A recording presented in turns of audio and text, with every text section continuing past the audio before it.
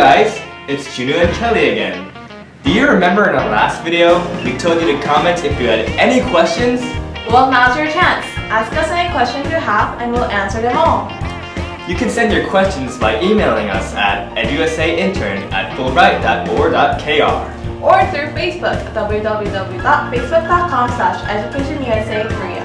See you guys in the next video. With the answers to the question. See ya! Hi guys. I was saying this. Okay, okay, okay.